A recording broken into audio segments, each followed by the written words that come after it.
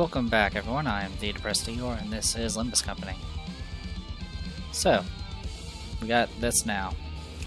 And what are you even doing? I don't get why they attack each other. By an attack, blah blah blah. Yeah, no clue. Well, in any case, um, let's go ahead and get some of this going.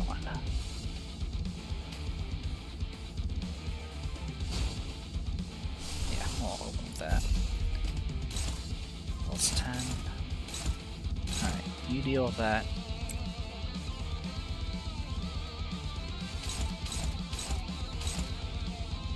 You deal with that. This is just what? Five, seven, nine? You can deal with that. Don't care about that. Rest of this can go and just clean house.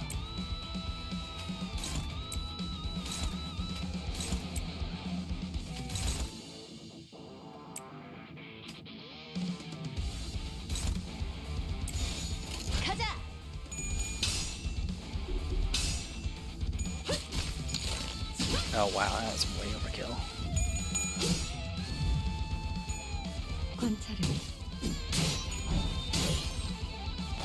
29 damage.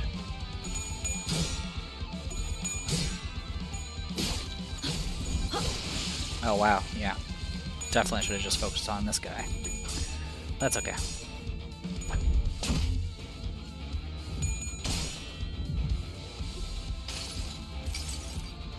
종원, 조명이 전멸하는 저곳으로 파도가 모든 것을 쳐부술 거다.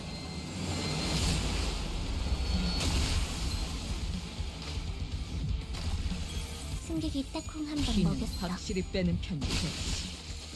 Yeah, should 재료 have 완성.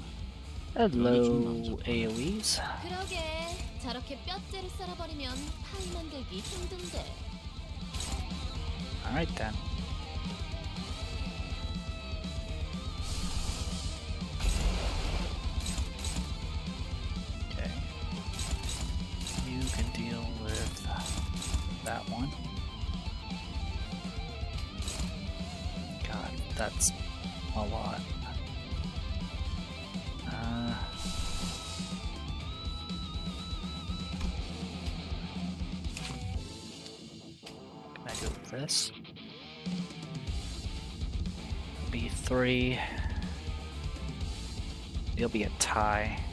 Gets the coin flip. Oh, that's gonna suck. There's not much I can do about it.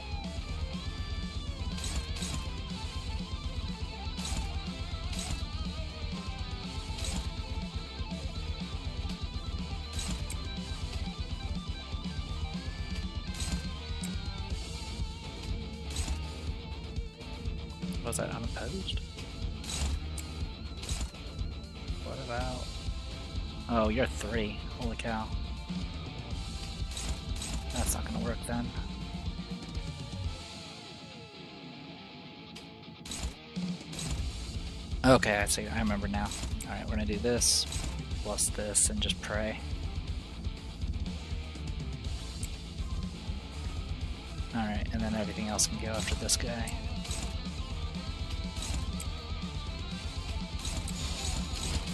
Alright, we may take a nasty hit here. Unless I can get the stagger in. We do.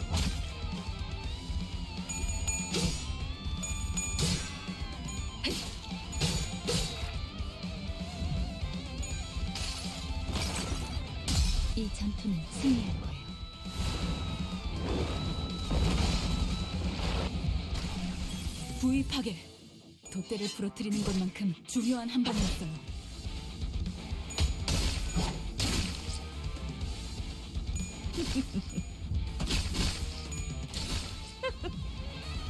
선원들, 우리가 우세를 나를 점하고 보호해. 있어. 하지만 여기서 방심하면 안 돼. Alright, we just need to endure this hit while we hit the shell. Because while it's broken, you actually do fatal damage.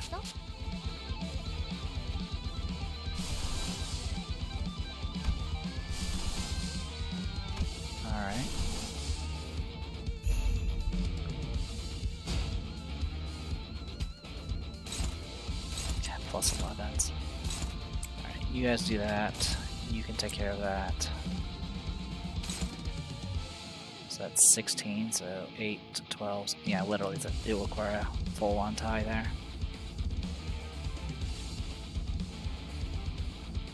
That's 9, 13, 17. Good luck, I guess. You can deal with that. Uh, actually.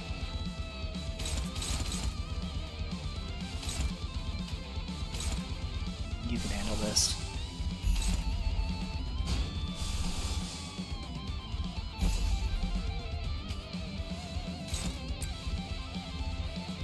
And, oh good, I can do it this way. There we go, problem solved. Looks like you're dominating all that, so we can just do all this and be good to go. 총원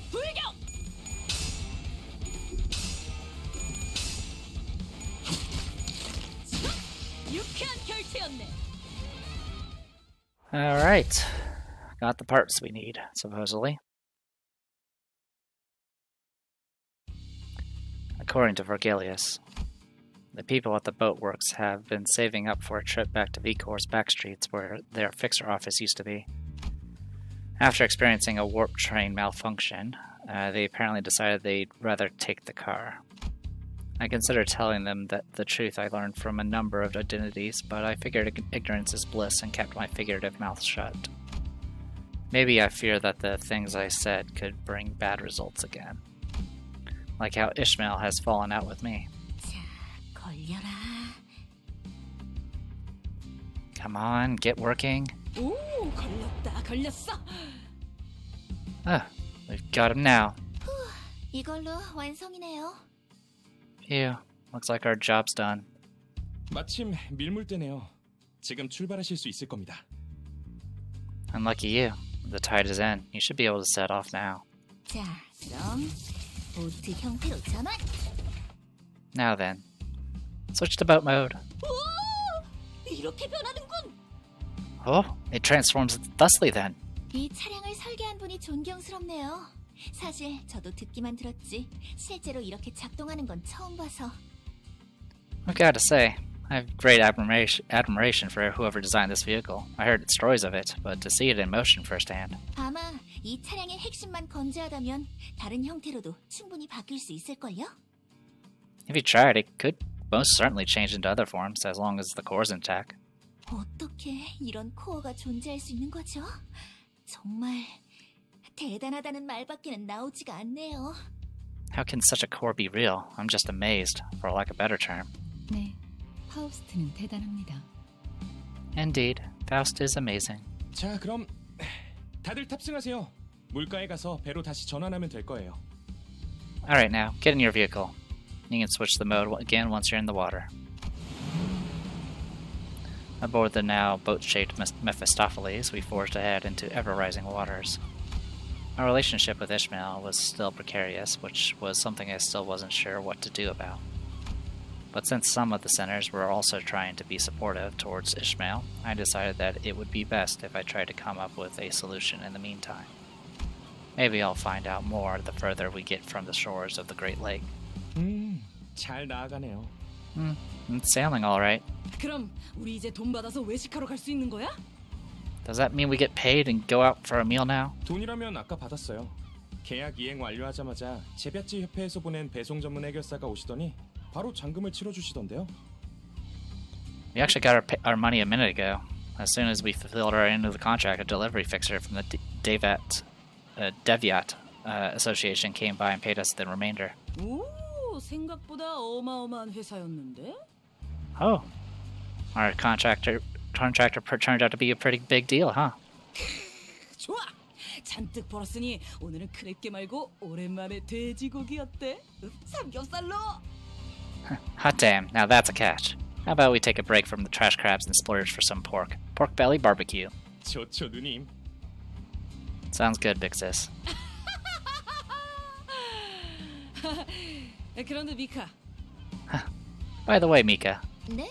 Yes? 이번 개조 목록에 어, 잠수 기능도 있었어? Uh, when did we add a submersible mode to the modifications? 그럴 리가요? We, uh, didn't. 저거 기우는 것 같은데. The ship looks like it's listing. 야, 빨리 물 빼! Roy, get the get the water out quick. 양동이, 양동이는 어딨죠? Buckets. Where are the buckets? 구멍을 찾았어. I have found a hole. This must be T D. Hmm. We're off. We're off. Club club.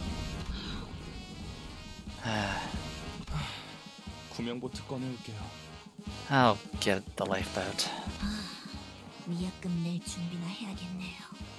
Guess we should also prepare to pony up penalty fees.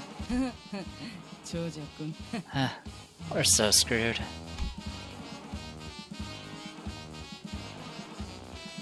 And then we all died, DM. Do I click again? Then, with our frantic attempts to drain the bus and Charon's skillful rowing, we managed to get back to the boat works and have the bus repaired. With that, our voyage on the Great Lake began somehow in earnest.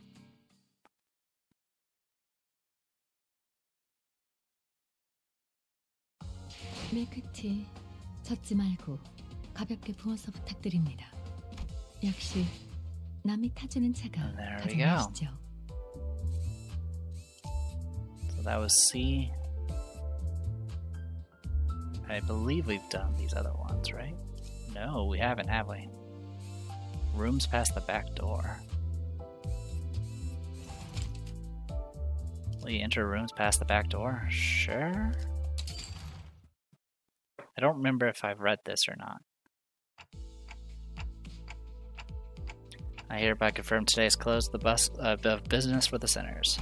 Whether we're riding the bus through a forest or navigating the bus boat over a vast lake, our da- daily routine changes very little. Thank you kindly. Starting now, you will you will be given a maximum of 12 hours to partake in sleep and rest. Duration is subject to change. Have a good night. The usual hubbub followed by the usual leisurely idleness. I guess I'm not the only one starting to enjoy these normal routine days. It wasn't by ch- our choice, though. By now, I thought we'd be sailing vigorously across the waters toward the Lobotomy Corps branch located somewhere within Eucor. But here we are, unable to leave the coastal uh, side of the Great Lake, dawdling and twiddling our thumbs. Well, it's not like there's been an accident. While Faust didn't elaborate, she explained that we had to wait for now. If I were to hazard a guess, we were waiting here to complete some kind of entry procedure like we did at K-Corps. Either that, or we're waiting for someone, probably the before team, to get in touch with us. Which brings us here, surrounded by nothing but endless, endless water. The sinners chattered about inane subjects before complaining about the, this immense boredom. But deep down, we were all exhausted from the unending onslaught of physical, physically and emotionally draining happenings. Deep down, we all knew these leisurely days would not last. So we each selected to enjoy this brief maritime respite in our own ways. If thou needest mine assistance, as I have repeatedly made myself clear, I am quite all right. Thy countenance returning the contents within thy stomach to the lake with such vigor saith otherwise. Except for Yi Sang, who had a surprisingly low tolerance for seasickness. This voyage was prov- proving to be rather uneventful. Yi Sang, the day's over. You can go back to your room now. Oh, shall I be finally be freed from this suffering? Seriously, I told you that you could rest in your room if that if you wanted. Our fellows must ha- must also have th- their share of suffering. I cannot, in good faith, seek comfort only for, for them for myself. You're the one with the biggest share of suffering right now.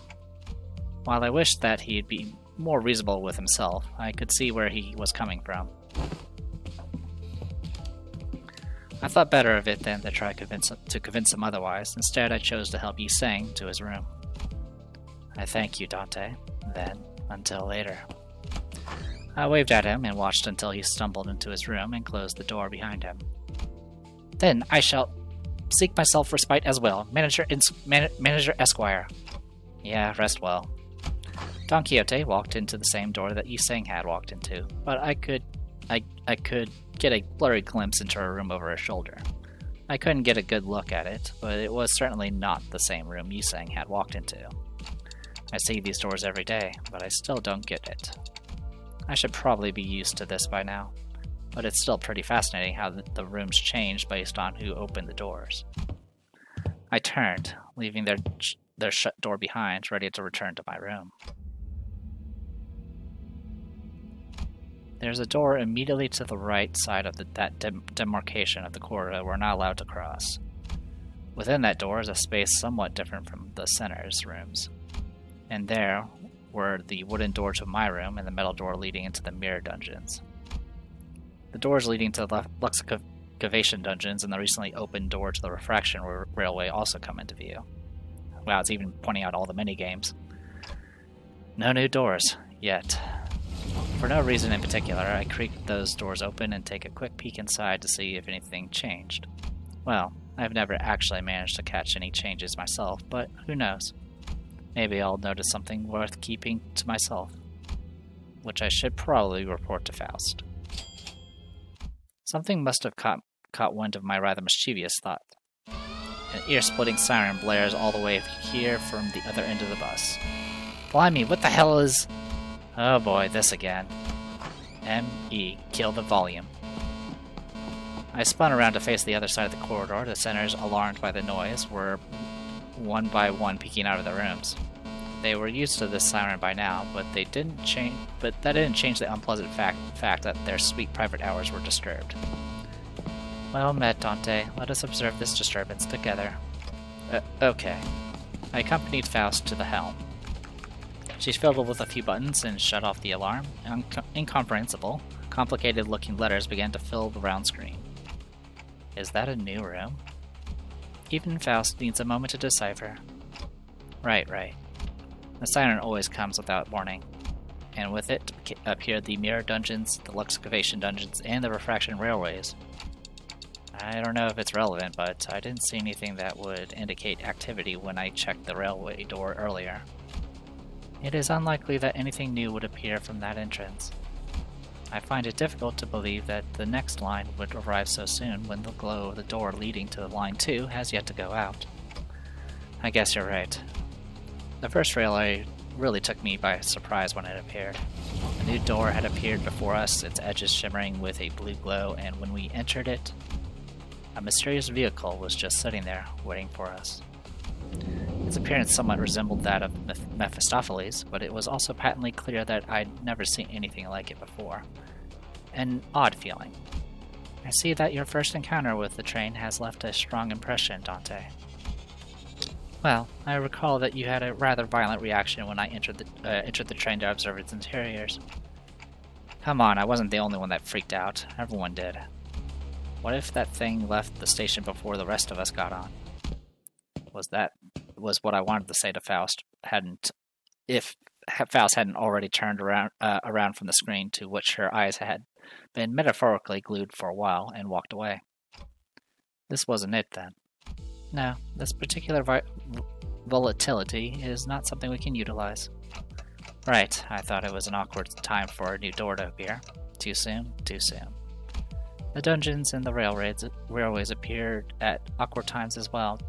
Dante, I recommend that you refrain from set- settling into a premature conclusion. A new variable may present itself at any moment. Moreover, if this volatility has triggered an alarm in Mephistopheles' Mephistopheles' engine, then it naturally follows that a new door has appeared at, at an indeterminate location down the corridor. This may reveal a space uh, from which one could never return. It is best that we keep track of these incidents. Even Heathcliff won't do anything like that again. Probably. As per my last advice to you, my premature conclusion is Regardless, no serious issues have been detected at this moment. It would be most apt that we enjoy our remaining rest period. Now, if you'll excuse me, rest well, Dante. With those as her parting words, Faust disappeared into her room in her usual manner. Left alone again on this bus. Boat. I looked at the numerous letters and displayed on the screen. Numbers, un- unintelligible letters, drawings, and symbols depicting something. I had to shake my clock head after staring at that dizzying sight for a while. I wonder if this is how Yi Sang felt earlier. I'm sta- starting to feel nauseous. I was barely able to hold back the ver- vertigo from setting in. Time to saunter back to my room. Let's turn in early tonight.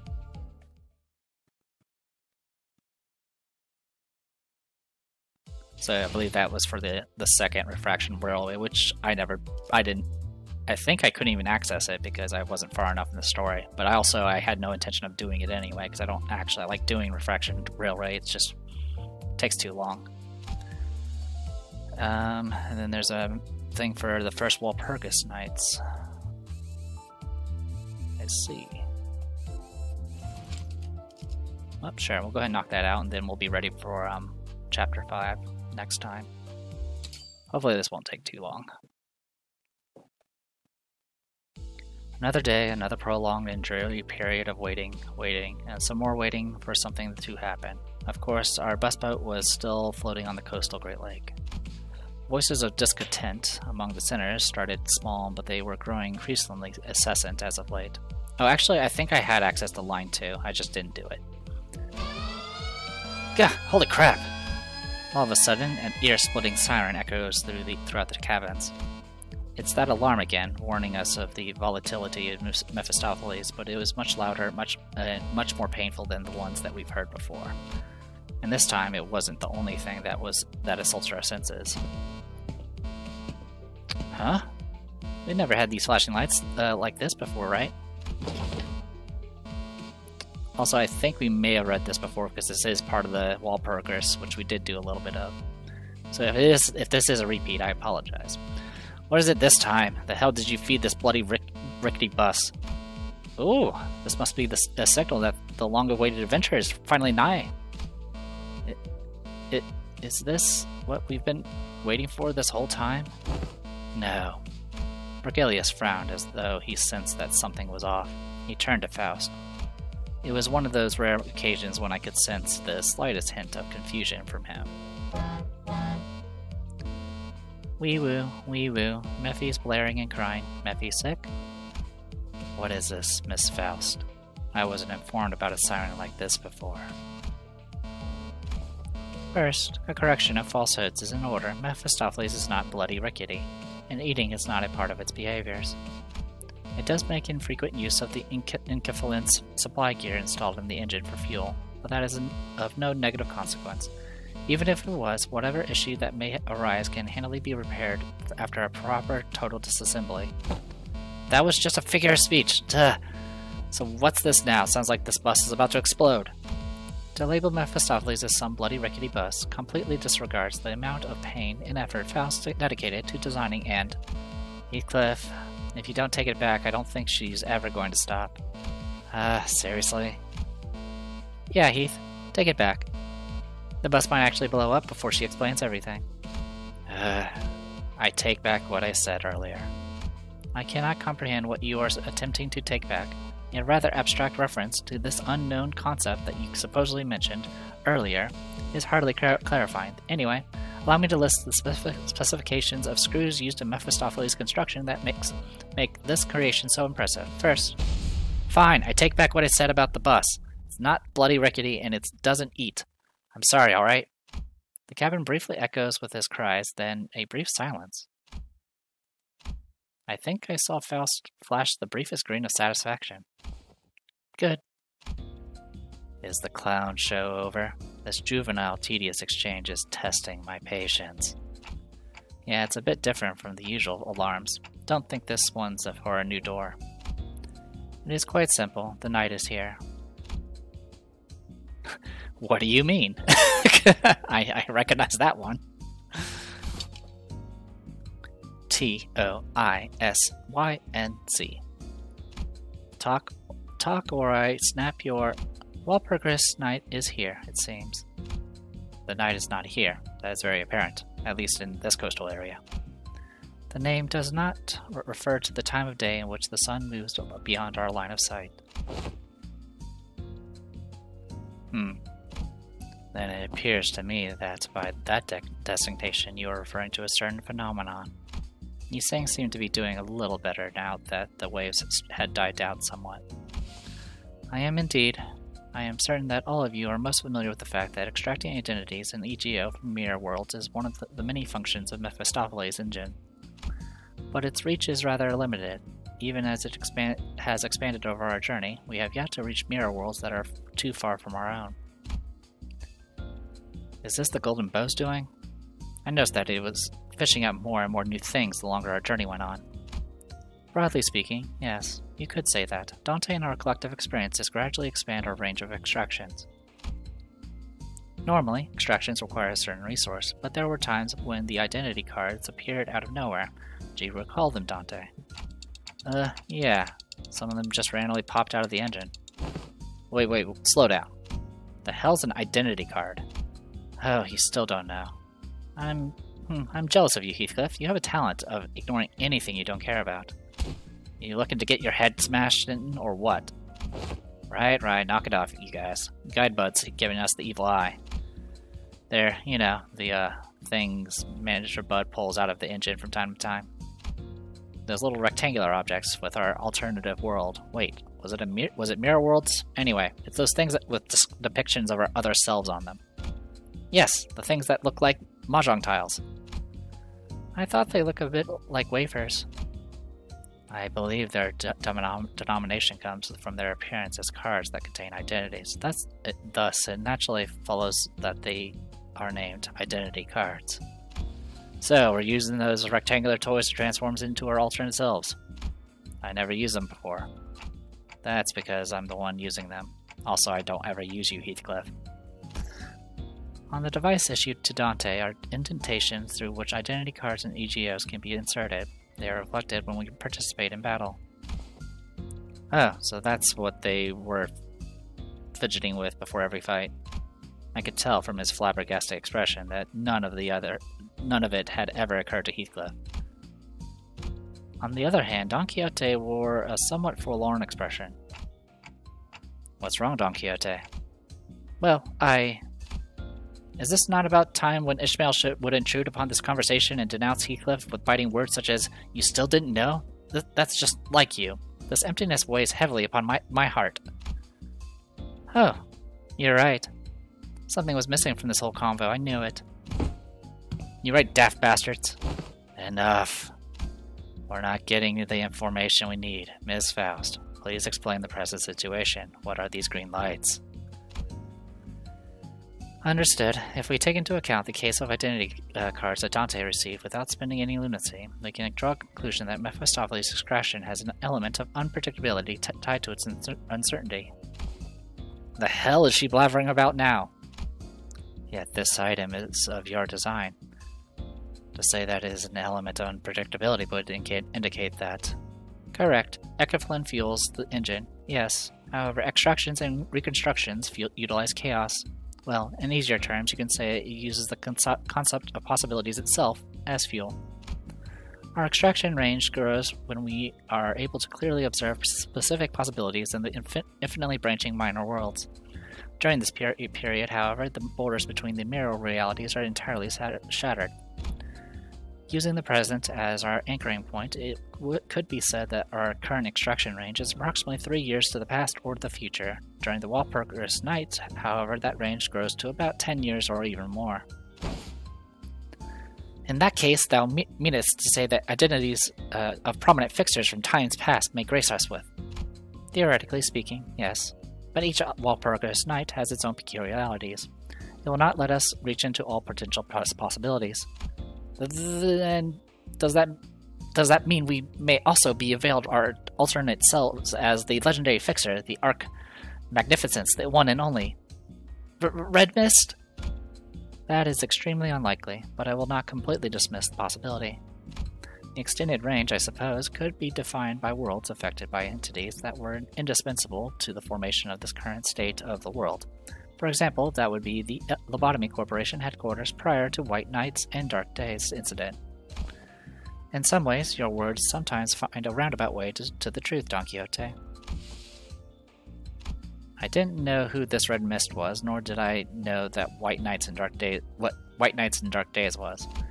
But I could hazard a guess that they both must have been pretty significant, considering that Vergilius' face grew visibly tense as soon as they mentioned that they were mentioned. The sinners were unsettled too. We can conclude that this siren is no cause for an immediate concern, then. No, it isn't. Consider it a festival that arrives once in a while, for now. Festival, festival, festive times. Charon is festive too. I don't know if I got all that, but this isn't what we've been waiting for, is it? No, we will continue to wait. the sinners sighed and groaned with disappointment as the newfound anticipation fizzled. Well, something did happen, but it wasn't something that would get us moving. I could see what a disappointment this might uh, be to them. So, how do we stop that green light from flashing? It will turn itself off when Dante extracts something from the engine. Do not worry. Right, back to business, all. Dante, extract something and turn that alarm off. W-A-D. We'll just be running more dungeons to the back door with whatever new thing they pull anyway. This, uh, still, this leisureliness is a rare opportunity, isn't it? Bless, blessed be the patient ones, or so it is said. Every sinner says their piece before returning to their seats. Some of them walk out of the cabin to gaze at the lake. It's something they must be growing a tad tired of doing at this point. Maybe they're just going out for a long sigh. And Outis walked up to me. Are you not worried, Executive Manager? Huh? About what that mad scientist said, for now. There has to be more, more to that statement. Should I investigate this matter further? Outis was right. Was while Faust did tell us to consider this nothing more than a festival that arrives once in a while, she definitely knew more than she was letting on. But if Faust speaks of something in her characteristically cryptic manner, it means that she'll never tell us until she wants to. Well, it does bother me a little, but right now we don't have a lot of options. Let's put a pin in it for now. Outis nodded affirmatively, bowed, and returned to our seat. Well, let's get extracting, like Faust said. So this was when you can get the uh, the magic bullet and all that stuff, which I already got. All right, so with that, we are finally at chapter five. I don't even know how many chapters there are anymore.